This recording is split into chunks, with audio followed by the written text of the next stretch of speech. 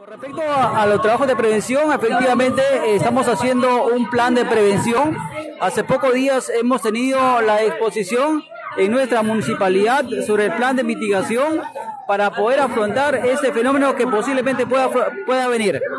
Eh, debo decirles de que este plan es un plan integral, es decir, que le compete al gobierno nacional, al gobierno regional, al gobierno provincial y nosotros como municipalidad 26 de octubre. ¿Cuál es el presupuesto que se le ha asignado a la municipalidad eh, distrital de 26 de octubre?